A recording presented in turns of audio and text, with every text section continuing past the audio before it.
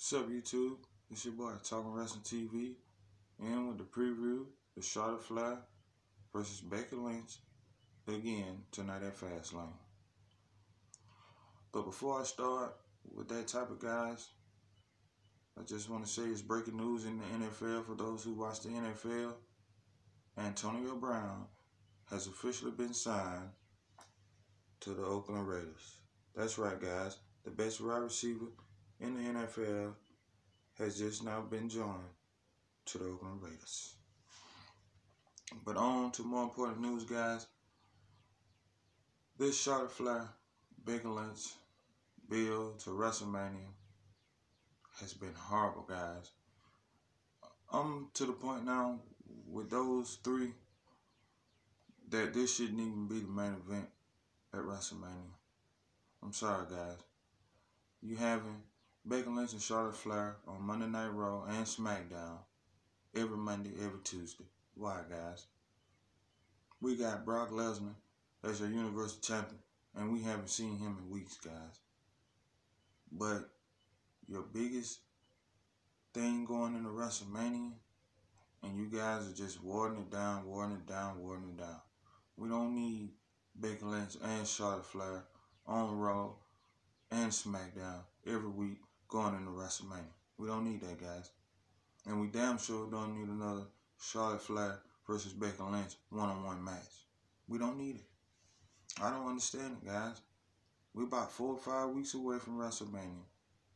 And you mean to tell me you having these two women go one-on-one before WrestleMania?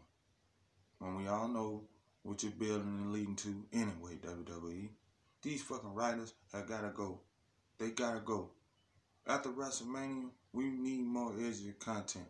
Fox News just broke news, I believe yesterday or Friday it was, that they want SmackDown Live to be more edgy. I understand that. And WWE needs to become more edgeable, guys. But, well, more edgy or whatever the fuck I said. I'm just so pissed off with how WWE has been doing these women. I don't even give a fuck anymore. But in the end, Becky Lynch is gonna win somehow, some way. Whether Ronda Rousey help or not, she's gonna get the job done tonight. So, what are you gonna do these next four or five weeks? Where you gotta have these women on TV week in and week out. And you done done pretty much everything it is to do in a horrible way leading up to WrestleMania. This fucking company, man, WWE. I'm telling you, with AEW signing this talent and doing the things that they're doing, WWE 2019 has not been looking good. It's not been looking good. You just lost to Tommaso Ciampa. What are we gonna do down in NXT?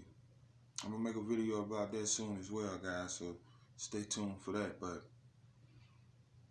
this bill with these three women, guys, horrible.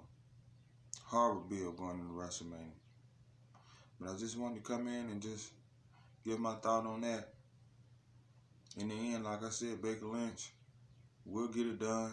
I just hope this match is not the main event tonight, guys. It really does not have to be or need to be.